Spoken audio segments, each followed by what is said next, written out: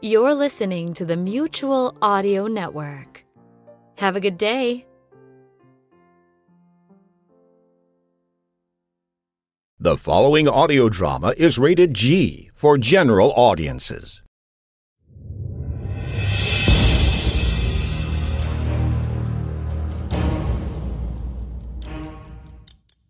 And now, a faux fiction audio production published by Not a Pipe Publishing. Super Guy by Kurt Clopton. Super Guy, the generic alternative. Less superhero hype, same superhero quality.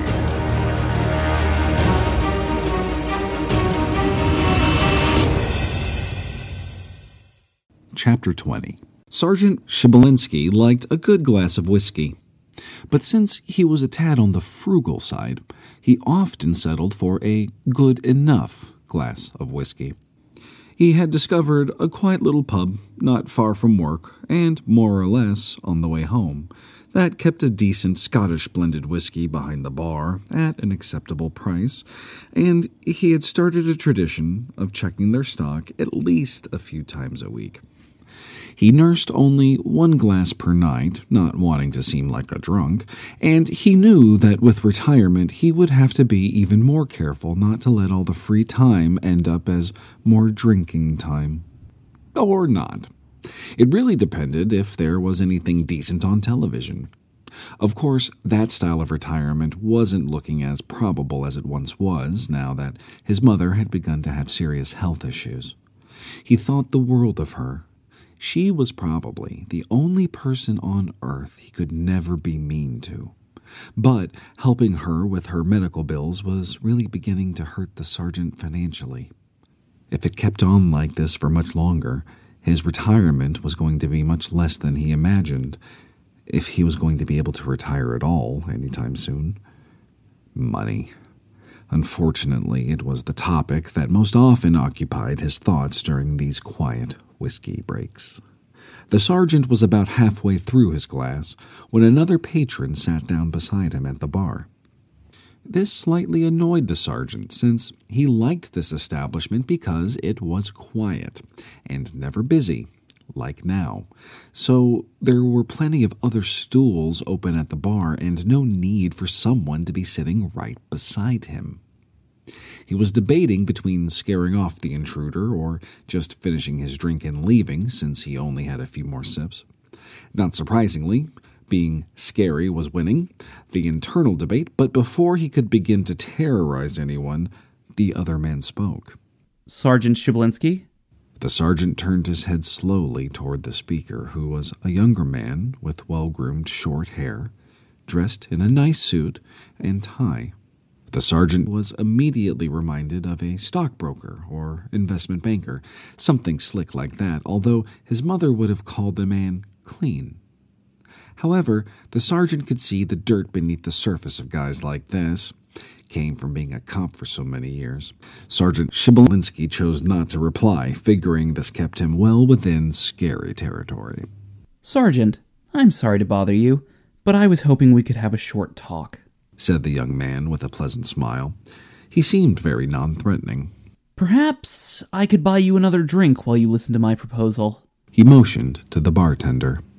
Maybe something from a higher shelf? Sergeant Shibelinski's eyes widened ever so slightly as he watched the bartender reaching for a bottle somewhere in the range of great to greatest whiskey. The man continued. My employer is interested in having a very simple business relationship with you.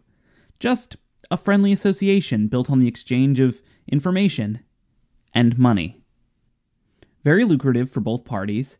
You would provide us with a little bit of information, and we would make sure that your future is very secure, no matter what expenses might arise. He paused and gave the sergeant another smile. Oh, I'm sorry. I haven't introduced myself. My name is Alex.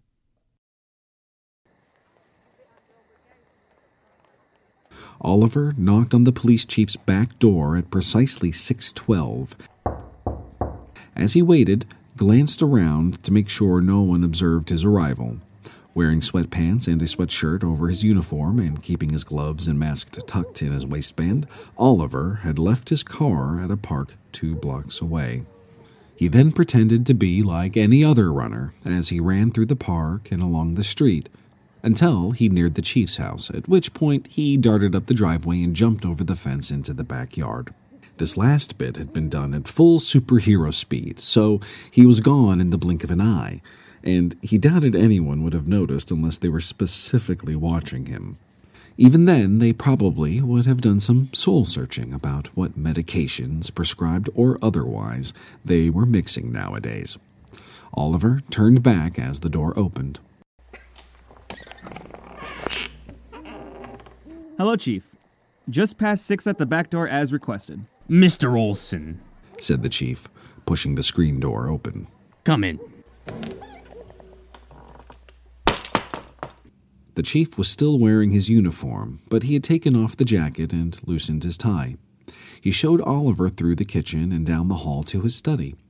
The study was exactly what Oliver would have imagined from the big old two story house a lot of dark wood with built in bookcases, a fireplace, and one large dark wood desk. What Oliver didn't expect was to find other people there. The mayor was standing over by one of the bookcases, either closely examining the titles or posing for a portrait. It was hard to know for sure, and Emma was sitting on a sofa next to another woman Oliver didn't recognize. She had short brown hair and glasses, and sat with what seemed a laughably large briefcase on her lap. I'm sure you remember the mayor, said the chief as they entered the study. The mayor smiled, but didn't move from his spot on the other side of the room. He believed it was a good power position and didn't want to lose it to just shake hands. The chief continued. Uh, this is Lily, the mayor's personal assistant. He gestured toward the young woman, who smiled shyly and shifted the big briefcase a bit. And you know Emma, of course. Here, have a seat. He pointed Oliver to one of the two leather chairs facing the sofa. A very tasteful dark wood coffee table occupied the space between. Why didn't you say you were going to be here? Oliver asked Emma as he sat down. I don't know. Why? Did you want a carpool? The chief sat down in the other chair as the mayor took up another power position by leaning on the desk. So I guess this is the first official meeting of the Secret Superhero Committee. I'm just joking. I'm not sure why the chief insists on this secrecy, but when he told me earlier that we were meeting, I wanted to be part of it. I even offered to do the mansion, but our chief likes his mystery. There was just the slightest tinge of bitterness in this last comment as the mayor thought about the publicity lost by not having his prize superhero over for dinner at the mayoral mansion, but he resolved to do just that this weekend. Black tie, city celebrities, and his superhero. He could see the cameras flashing like crazy now Maybe Oliver could bring a date too, like that Canadian super hottie he'd been linked to in the media. I want to start out by saying that you've been doing a great job so far, Oliver. Just great. It was true. The mayor's numbers had jumped right along with Oliver's after his battle with Cyclone. At this point, re election seemed a given, but the larger the margin of victory, the better for the mayor. If there is anything I can do to help, please let me know. In addition, Lily here has a list of public events and appearances we would like you to attend in the next couple of weeks. I also have a thought about a little dinner next Saturday night, so keep that open.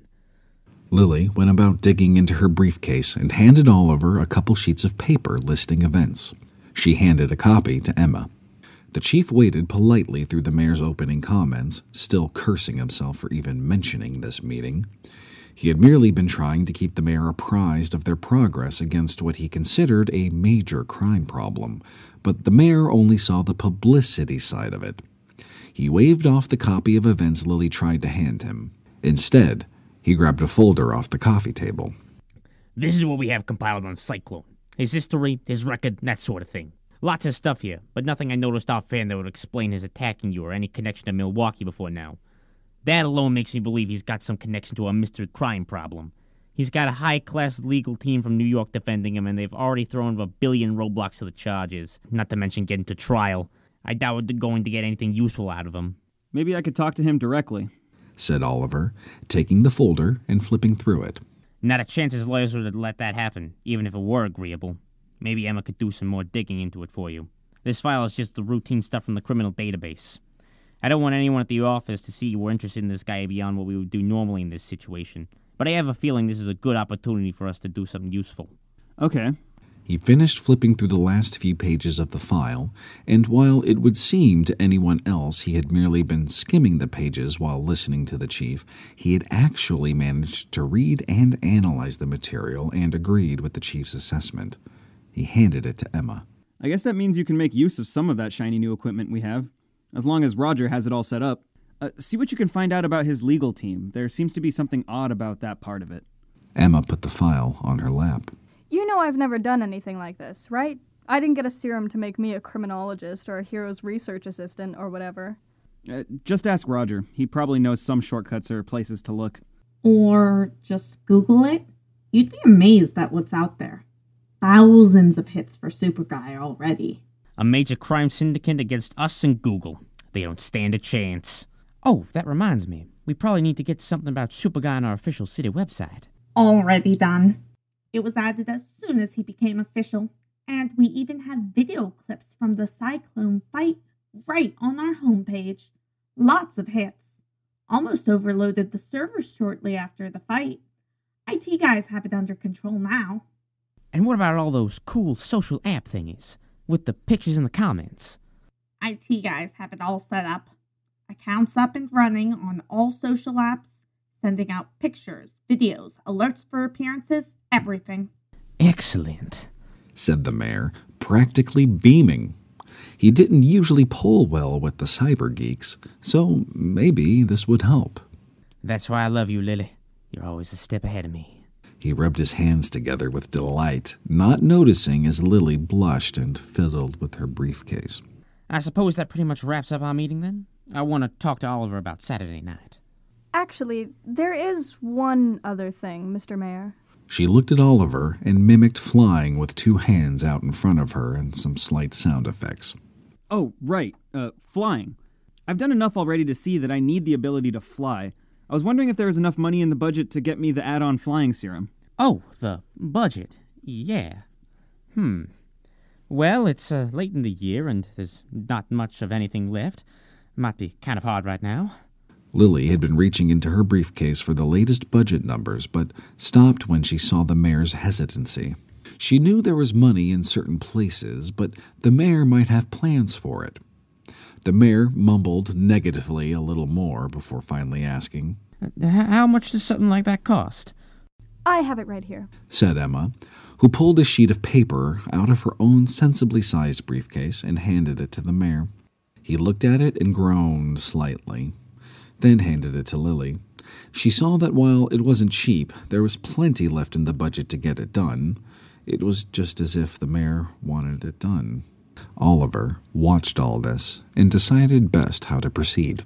Actually, Mayor, you might find that it will pay for itself in a very short amount of time. Consider the amount of damage caused during the fight with Cyclone that could have been prevented had I been able to fly. When I got tossed around, all I could do was wait to crash to a stop, helpless. But with flying, I can stop myself in midair without the assistance of large structures. The mayor looked at Lily, who nodded slightly at the point. Oliver went on. It will also make me much more visible. Right now, I'm driving around in an unmarked police car. I don't think people are all that impressed waiting for the hero to arrive on the scene in Parallel Park. Flying is much more visible, much more impressive. Basically, just an airborne advertisement of your tough anti crime policy. Thousands will see me flying over the city every day. The mayor thought about it, and the more he thought about it, the more he liked it. It was basically a big campaign advertisement that wouldn't cost him anything out of his campaign fund. He smiled and nodded at himself, and then he looked at Lily. Do we have enough in the budget for this? Lily nodded. The mayor looked at Oliver. Well then, Super Guy, I believe we'll be getting you off the ground. You have been listening to Super Guy by Kurt Clopton, a faux fiction audio production, published by Not a Pipe Publishing. Look for the sequel to Super Guy coming this September. This recording, characters, and the situations within are the property of their author and creator, and protected by copyright. If you wish to listen to more episodes in advance, search patreon.com, then Faux Fiction Audio, and sign up to be a monthly patron. Or stay tuned until the next week for your free episode. We will see you then.